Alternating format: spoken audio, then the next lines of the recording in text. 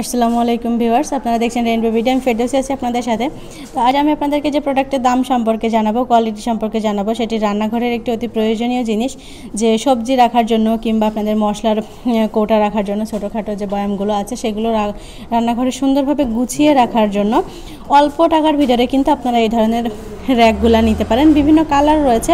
তো তার ভিতর থেকে আমি এখন আপনাদেরকে দুইটা কালার দেখাচ্ছি।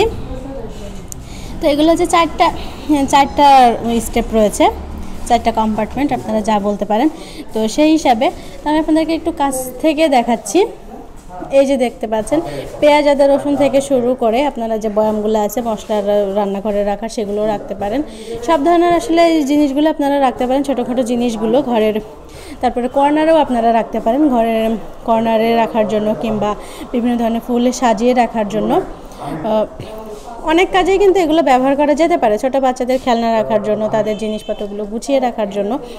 তো সবভাবেই কিন্তু এই ধরনের র্যাকগুলো ব্যবহার করা যায়।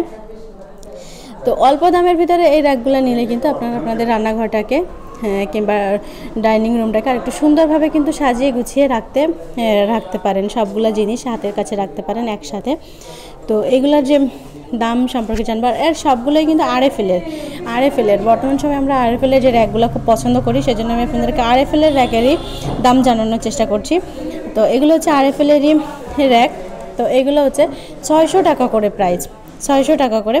তো এর বডি রেট না, আমরা, আমি যে, যেখানে এসেছি ভিডিওটি ধারণ করতে বিসমিল্লা ফার্নিচার যে অ্যাড্রেসটা দেখতে পাচ্ছেন, এই অ্যাড্রেসে এলেই কিন্তু আপনারা এই দামে পাবেন।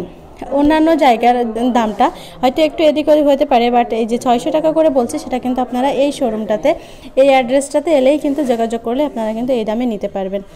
তো ধন্যবাদ সবাইকে এই ভিডিওটি এতক্ষণ দেখার জন্য।